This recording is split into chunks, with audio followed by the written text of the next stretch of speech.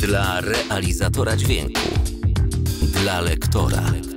Dobry poziom dźwięku, dobry poziom dźwięku dla podcastera. Wykup roczny dostęp do kursów na stronie Dobry poziom dźwięku podcast.com.